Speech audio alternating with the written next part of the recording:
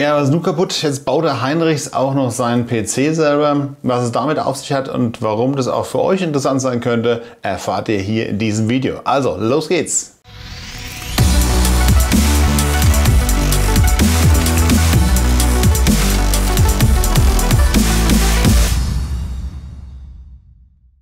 Ja, als ich die ersten Bilder auf meinen Insta-Stories gepostet habe, äh, wo zu sehen war, dass ich mir einen neuen PC zusammenbaue, ähm, da kamen die ersten Kommentare, was ist los, bist du unter die Gamer gegangen ähm, und äh, na, warum hast du dir so einen Rechner selber gebaut?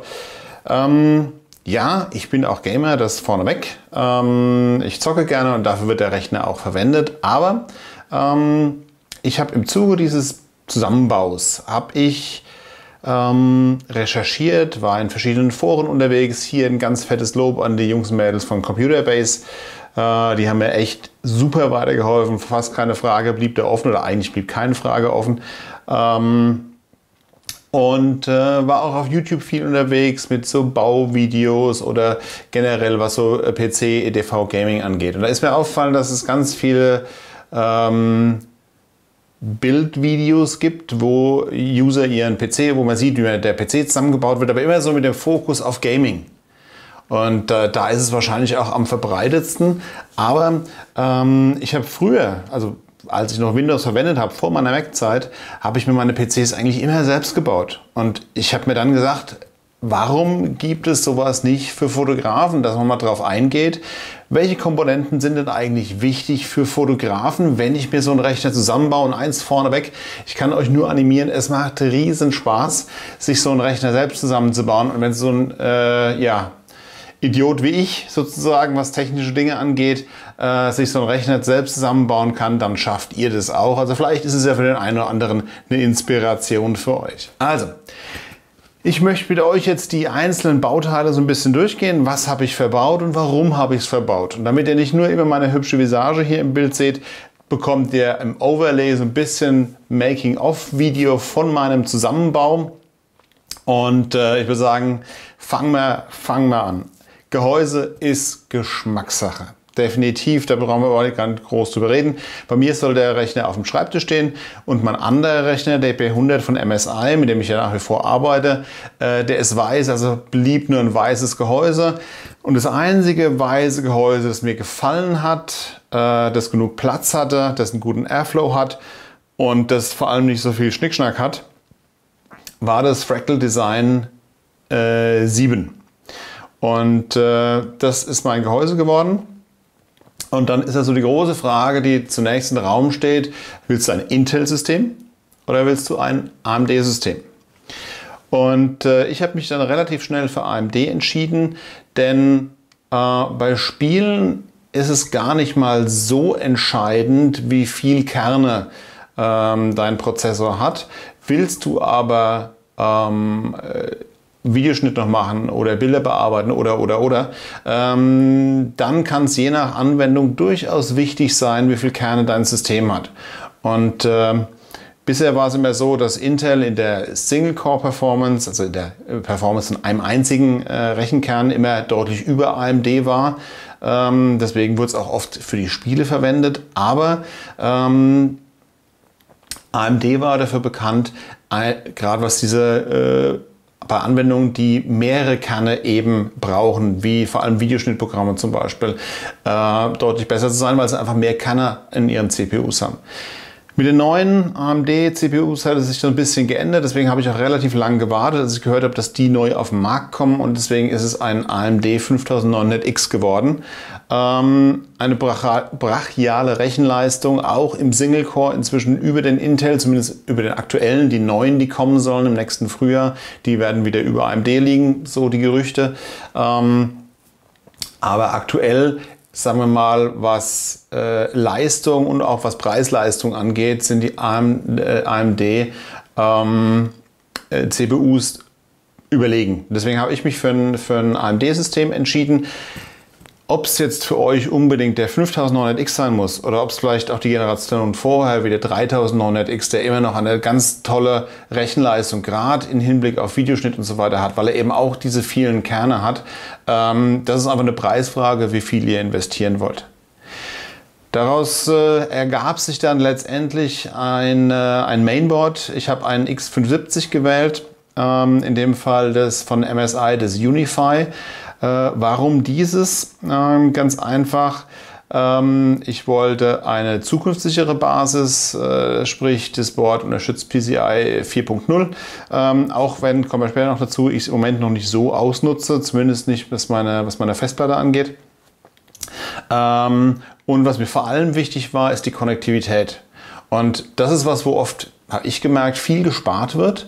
Das heißt, es fehlt an USB-Anschlüssen hinten oder äh, der LAN-Port ist nur ein Gigabyte schnell. Da kann man jetzt sagen, okay, was brauchst du? Ein LAN-Port, der schneller ist wie ein Gigabyte, weil mehr kriegst du von der Telekom ja auch nicht. Nee, ich habe Glasfaser, ich habe also eine 500er Glasfaser, deswegen habe ich es nicht. Aber ähm, in dem Rechner steckt nur eine ähm, NVMe SSD ähm, für die Programme und so weiter. Meine Daten liegen alle auf dem Server und der ist in einem anderen Raum und der ist über ein LAN-Kabel verbunden.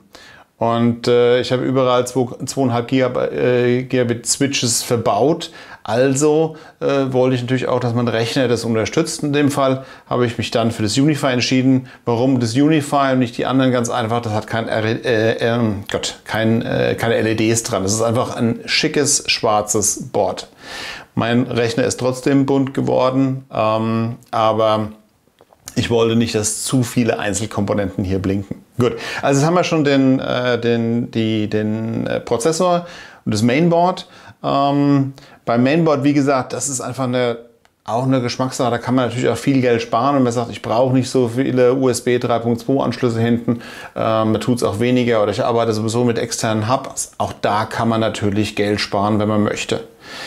Nächste, was sehr wichtig ist für uns Fotografen auch, ist die Grafikkarte. Hier habe ich eine MSI Gaming Trio äh, 3080. Ähm, auch da könnte man wieder sagen, hey, Overkill, du bist doch kein Zocker. Ja, fürs Zocken macht es natürlich Spaß mit dieser Grafikkarte. Ich kann im Prinzip alle aktuellen Spiele auf hohen Einstellungen spielen. Aber, und das ist eben auch ein Punkt, den viele unterschätzen, Grafikkarten werden immer wichtiger, auch was das Thema Bildbearbeitung und Videoschnitt angeht. Ähm, viele Programme nutzen die Grafikkarte, um Prozesse zu berechnen. Und deswegen ist eine schnelle Grafikkarte am besten noch kombiniert mit einem großen ähm, Speicher auf der Grafikkarte Gold wert, wenn es um das Thema Videorendern, 4K-Rendern, aber auch komplexe Bildbearbeitung oder Arbeiten mit Lightroom zum Beispiel. Auch in Lightroom gibt es diese Grafikkartenbeschleunigung.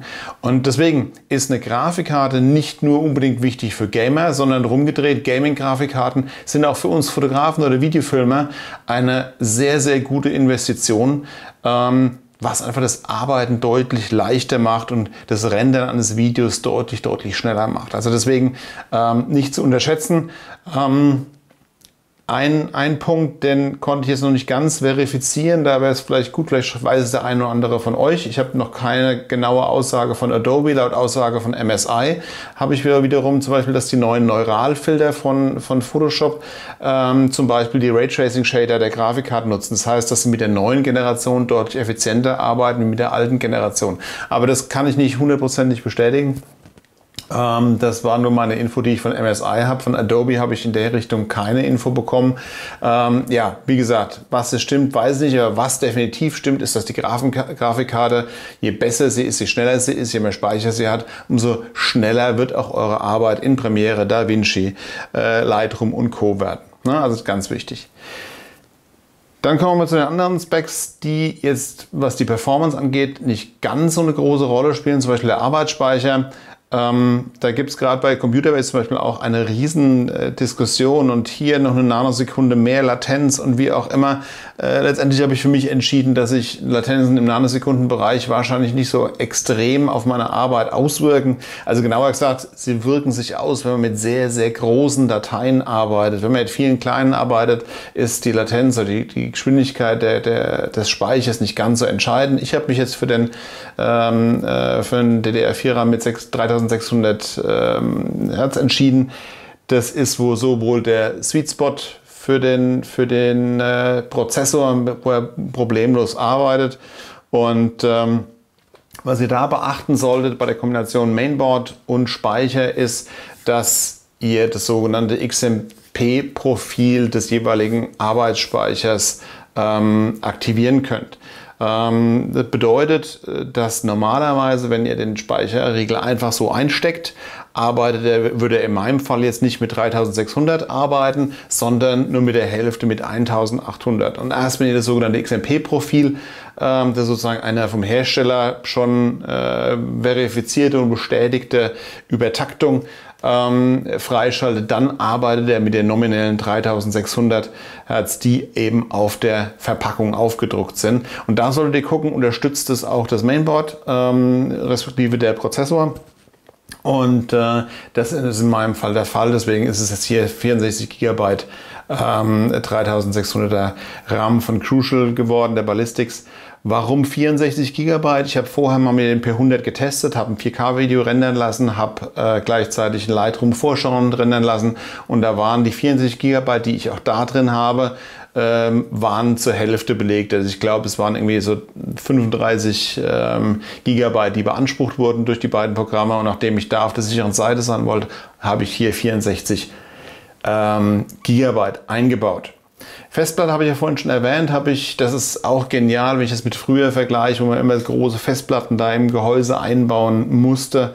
Ähm, habe ich eine NVMe SSD genommen, ähm, dem Fall eine 2 Terabyte. Hier eine PC, PCI 3.0. Warum? Weil ich finde, dass aktuell ähm, vom Preis-Leistungs-Verhältnis her äh, PCI 4.0 SSDs einfach noch zu teuer sind. Ähm, und ich wollte einfach diese 2 Terabyte haben, von der Größe her, um auf der sicheren Seite zu sein für später.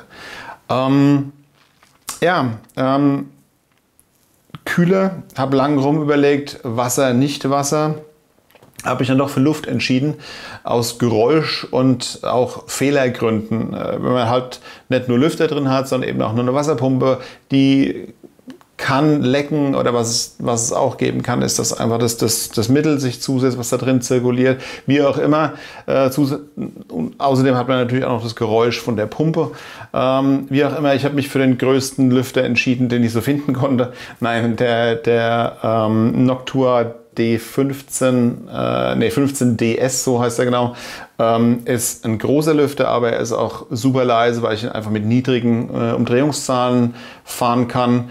Und ähm, ja, äh, die, auch die übrigen äh, Gehäuselüfter habe ich dann ausgetauscht, um äh, hier wirklich ein möglichst leises Arbeiten zu haben, weil er steht direkt hinter mir und wenn ich direkt neben dran sitze und normal damit arbeite, höre ich nicht. Wenn ich damit game, ähm, dann springen die Lüfter an, dann gehen sie auch ein bisschen höher aber noch nicht so, dass es mich großartig stört. Vom Airflow her habe ich so gemacht, äh, es sind vorne zwei, die einen Intake machen, also die Luft reinziehen, im Boden einer, der reinzieht, und dann habe ich nach oben drei, die rausblasen und nach hinten nochmal einen, die rausblasen.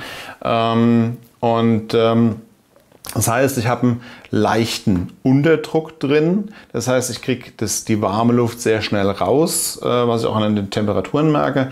Ähm, andere behaupten, man kriegt dadurch natürlich auch mehr Staub rein. Ja, aber ich habe ja noch die Staubfilter vor den, vor den Gittern. Von daher mache ich mir da aktuell nicht so wahnsinnig viele Sorgen.